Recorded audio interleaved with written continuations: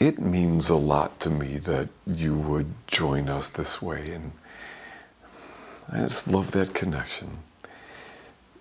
Before this week's homily, we of course remember in our hearts the people of Maui in their time of such struggle and all those who love them.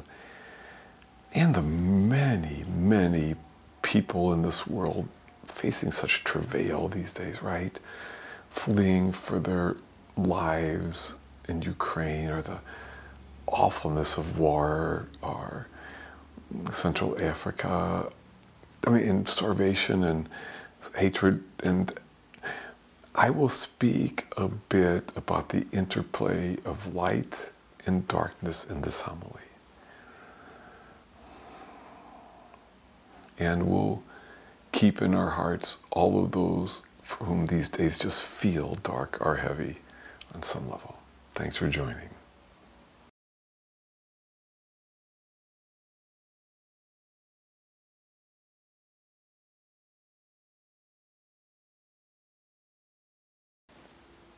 You might remember the total solar eclipse of 2017, that rare interplay of light and dark. It was just about six years ago today exactly and was one of the greatest events most stargazers could ever hope for. I mean, something that actually only a small percentage of the Earth's population ever gets to see. Many people descended on towns like Eureka that were in the path of totality to see what would be for most of us a once in a lifetime experience.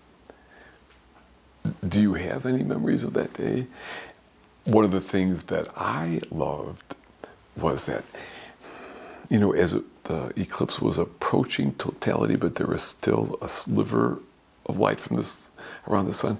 If you looked on the ground underneath the trees, wherever the light shone through, it was exactly in that shape. It's just fascinating. I mean, that was just one of the fascinating manifestations of light and dark. We see a fascinating interplay of light and dark in today's gospel as well.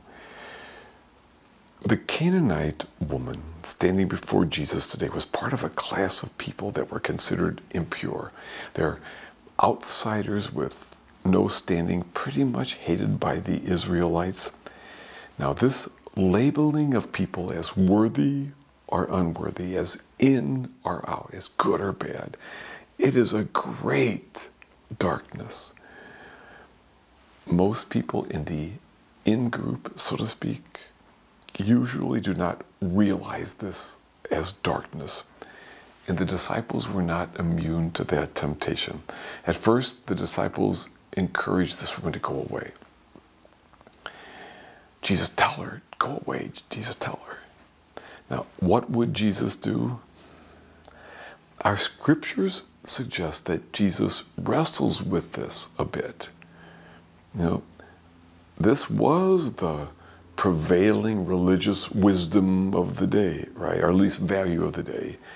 And in this interplay, Jesus seems to be forming his own convictions more deeply.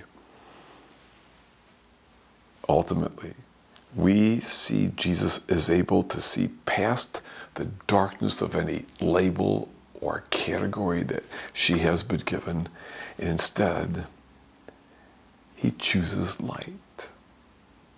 In a stunning encounter, Jesus does what is usually not done. He truly sees her. He sees her. And he speaks to her as a person.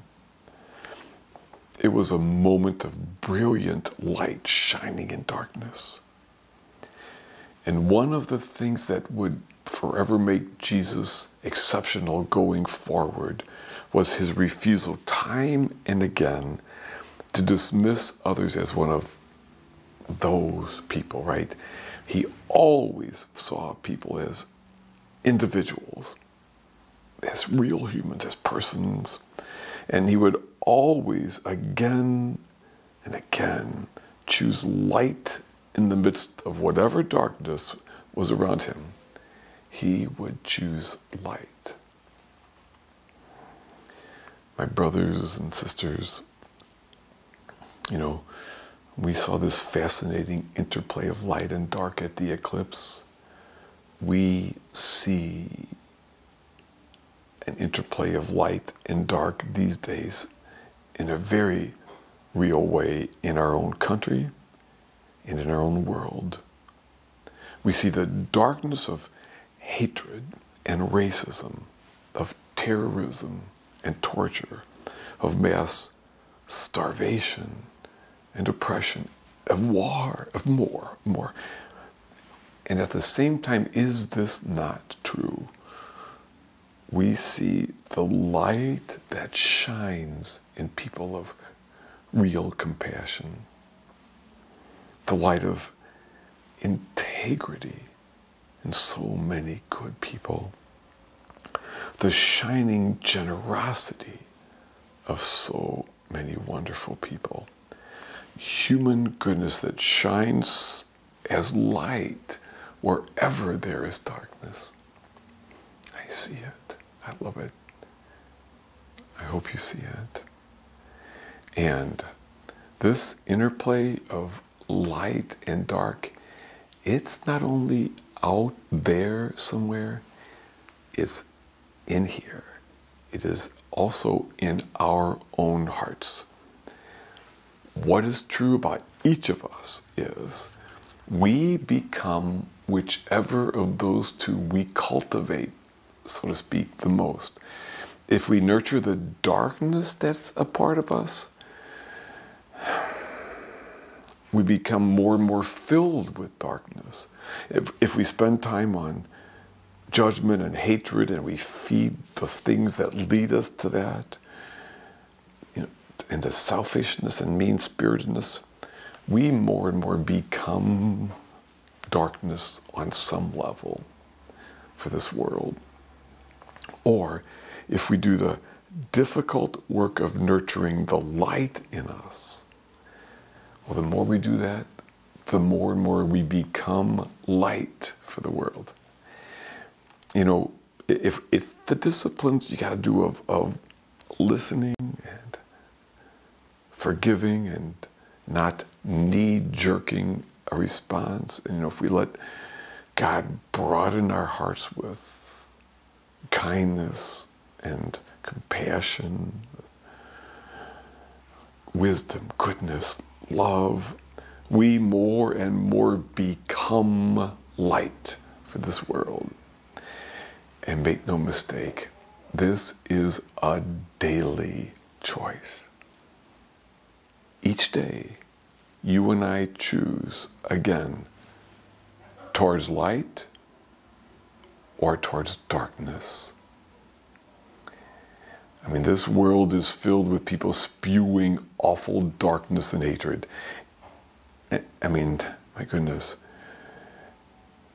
And there are countless others whose lives are in big way or small, in ways seen or unseen, who shine with a humble, beautiful light of love and goodness. Which will it be for us? During that solar eclipse, many of us were lost in wonder for a bit, right? I mean, maybe for a moment some things didn't seem to matter so much, you know, that as we got immersed in the amazing beauty of God's incredible creation, well, politics and productivity, calendars, and careers, finances and feuds all faded away a bit as we got lost in awe. When I look back, one of my more fun memories was you know, we, we had all the kids gathered on campus because we were right in the line of the totality. And when we hit that moment of complete darkness, totality, the kids all cheered. And then we prayed together. Sweet. You might have memories of, of your own for that day. And if so, when we reflect back on the solar eclipse, we will remember that we were given a glimpse of something at the heart of the universe, the ever changing interplay of light and dark. And by his own example today, Jesus reminds us that we are again and again called to choose which it will be for us darkness or light. There is no decision for us each day that is more important.